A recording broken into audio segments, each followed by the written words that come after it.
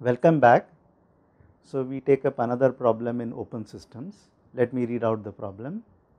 Steam enters the nozzle of a steam turbine with a velocity of 5 meters per second at a pressure of 40 bar and the temperature is 600 degrees centigrade. The pressure and temperature at the nozzle exit were measured at 1 bar 200 degrees centigrade. So, you have to determine the exit velocity, the entropy production rate if the flow rate of steam is 1.5 kilograms per second and the isentropic efficiency of the nozzle. So, let us begin. So, you see that part A is reasonably straightforward, one just has to write the open system equation for the first law and simplify it and all the simplifications that we made during our discussion for a nozzle are applicable. So, what we do is we assume that the nozzle is adiabatic. So, q dot is 0 of course, work transfer out is 0 we say that there is negligible change in the potential energy. So, finally, just a balance between the difference in H and the difference in the kinetic energies. So, let us write this down again and see how it goes. We write the first law for open systems and steady state that is our assumption. So, we have q dot minus w dot s is equal to m dot He minus Hi plus difference in Ke plus difference in the potential energy. This is assumed 0, it is adiabatic, there is no work transfer. You assume that there is negligible change in the potential energy and now the m dot is of no significance in this equation. We would get He plus Ve squared by 2 is Hi plus Vi squared by 2. Of course, one will notice that um, Vi which is the inlet velocity is given and it is not really significant. One could have as well neglected it. In fact I would like you to do that exercise. We can take it here. And Hi can be read out from the steam tables because the conditions are given. It is 40 bar or 4 megapascals and 600 degrees centigrade.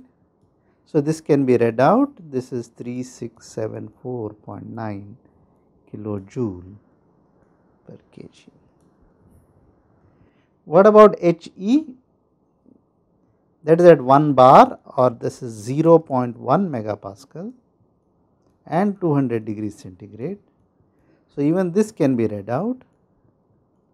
So, you realize that you have this quantity and this quantity the H Vi squared by 2 you could as well neglect or take it as it is and you should remember to convert kilojoule per kg for H in joule per kg. So, you have all quantities except V e squared by 2 and that can be now calculated. You can calculate V e squared by 2 by either assuming V i is 0 or the very small velocity that has been given you will only get a negligible difference at probably the first or second decimal place. So, this is something that you must do. We will take up the next part which is regarding the entropy production rate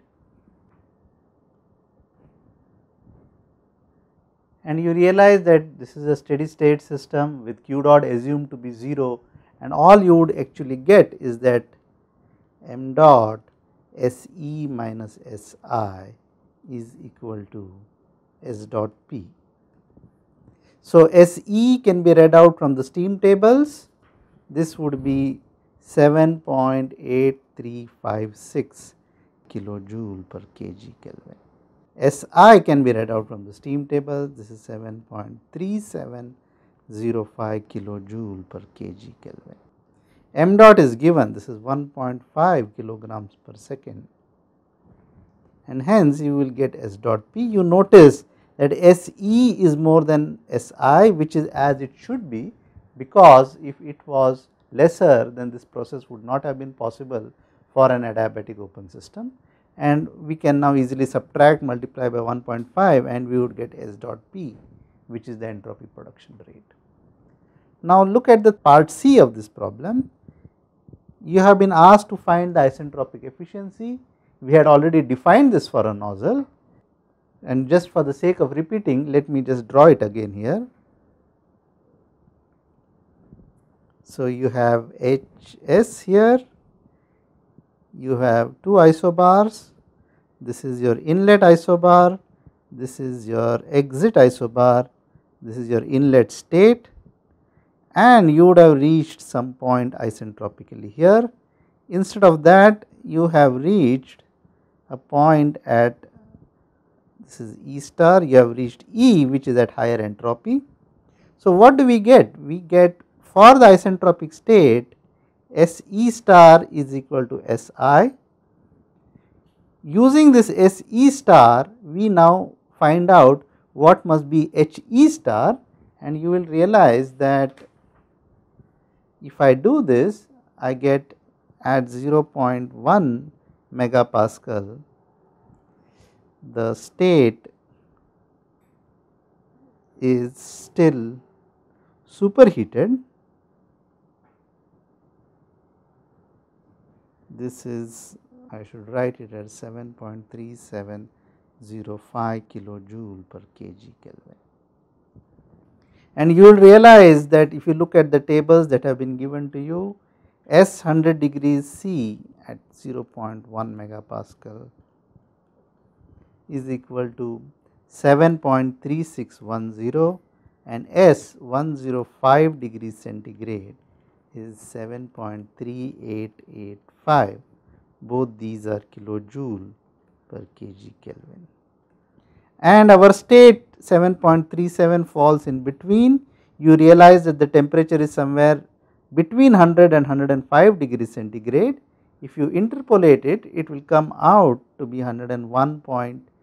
101.73 degrees centigrade. And what we do now is we just go ahead and interpolate for H2 and we realize that H E star that is assuming that the exit was isentropic, we can calculate H E star to be an interpolation between 100 and 105 degree centigrade that is at 101.73 and we get roughly 2679.36 kilojoule per kg. So, we apply the first law for open systems assuming this and we get V E star by 2 and what we do then this of course can be found out by h i plus v i squared by 2 minus h e star and once we get v e squared by 2 the isentropic efficiency for the nozzle is just the actual v e squared by 2 upon the v e squared by 2 that one would have obtained if the if the nozzle was operating isentropically. So, this is what one should get. So, we would have gotten a value for V star by 2 use that that is the maximum V star by 2 you would have got if the nozzle was isentropic use the actual V squared by 2 that divided by the ideal V squared by 2 would give you the isentropic efficiency. Thank you.